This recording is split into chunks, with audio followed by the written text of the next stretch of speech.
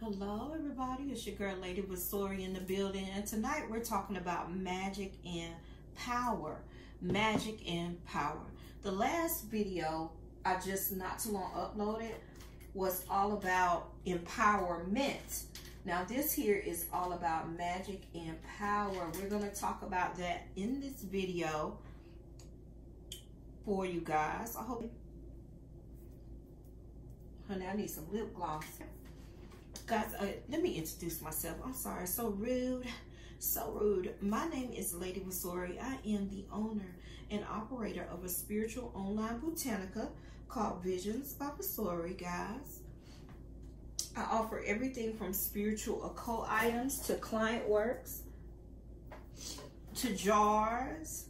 Um, I do have rituals and all of that, and I also have an apprenticeship that is on Patreon and it is also linked in the bio. Let's talk about magic and power. Let me turn my light on, y'all. There we go. Turn it down just a tad. We're talking about magic and power. Magic and power on today. Or tonight, honey. Y'all, I do have my notes right here so we can talk about it again, we're diving into magic and power. Listen, nothing happens 100% of the time. Nothing. Be it medicine, politics, mechanics, anything, nothing is 100%. I can't stress that enough. Nothing is 100% certain. Okay? So, people have to understand that there are always exceptions to anything, things that prevent something from coming to be, and that is for a good reason, even if we don't know what that reason is. Sometimes it happens because this law of the universe is the principle of the cause and effect. Okay? The ebb and the flow. There is a reason but we can cannot sometimes always perceive it.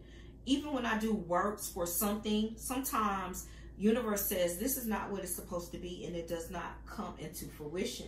And this is what I'll be talking about. Likewise, no one's magic is effective 100% of the time. Nobody. Don't put yourself in a position to make yourself or others think that magic always works in every circumstance for everyone's favor because it does not. And this is what I tell my clients. It can feel that way, um, particularly when you begin with some success, when you always it's happening and it's always coming. But no one is invisible in their spell casting. No one is invincible in their spell casting. Don't make the mistake of thinking that you are somehow less powerful or you are defeated when a spell does not um, work for your better good or for what you desire to work for. Don't feel like you're less powerful. It just means the universe said not now. If you really know your magic, you don't have to believe that you are 100% effective because you'll be wrong some of the times. Because you you also you'll know that you hold the intention of what you do is correct right?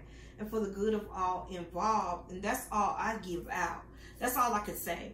For better far better for a spell that is incorrect and harmful. Thank you margaret.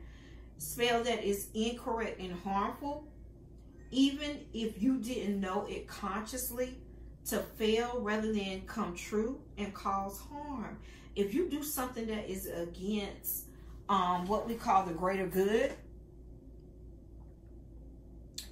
if you do something harmful um, intentionally or not, you will have to live with the consequences of it.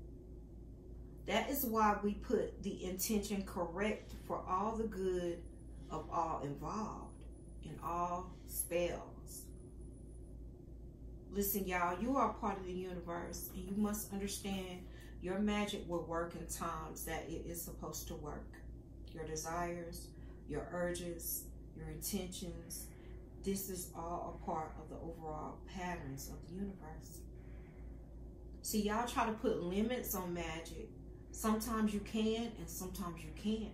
There is nothing wrong with trying, but do not think that you are almighty.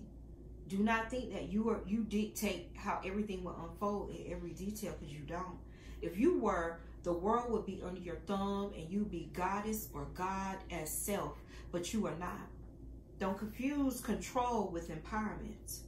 Empowerment helps you realize that you are a partner with the divine and magic.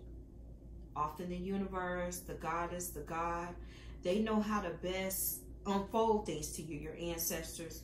They're creating situations much better than what we could imagine or control ourselves. And sometimes it is our self identity that causes us to want to express ourselves in bold or powerful yet unhealthy ways. And many come to magic and witchcraft wanting to hold knowledge and power over others. And that is not the way. When we do so, it is really our current self created identity that is feeling vulnerable, that feels it is in jeopardy, y'all. Such actions mean we are not comfortable with who we are.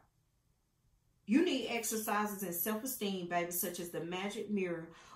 And this is very important if you want to get um, empowerment. Okay?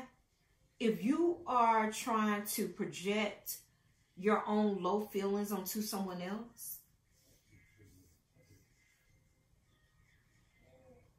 Then what do you think that means?